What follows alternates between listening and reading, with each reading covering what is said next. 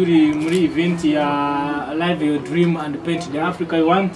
Ni event yateguwe na mindful thinkers ni groupe ikorera mu mujyi wa kigali ikora ibintu bya mindset coach. Ahangaha habashije gutambuka imishinga y'urubyiruko bakayipresenta bakayivuga nyine ndetse kugira ngo babone n'ubu niba hari n'amafaranga bashobora guhabwa kugira ngo proje zabo zikomeze. Hano ndi kumwe na mpagarariye ikigo bita Serial Business Company. Ah serial company ubwo ni gushatse kuvuga iki?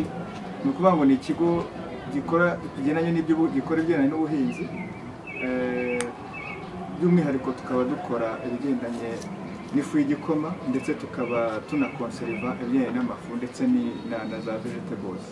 Eh ese kubera iki mbonye umushinga wawe wabashijwe gufatwa mu bantu bashobora guhabwa inama z'uburyo umushinga wabo wakorwamo. Ese hari abandi mwaba mufatanya ese umushinga ufite izihe impact kuri afurika ese uje ukemura ikihe kibazo? Ah, mwabitubwira na byo.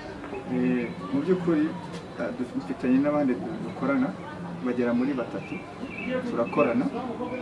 Ah, umushinga wacu ufite gahunda yo gu ufite gahunda yo gukemura ikibazo kigendanye n'imirire mibi. Cyane cyane ibera mu- mu- mu- muri iki gihugu cyacu ndetse muri afurika muri rusange.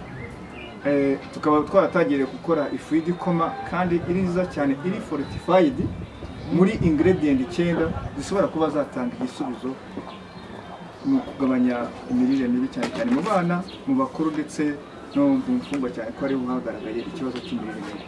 Ya, mwakoze cyane. Murakoze cyane.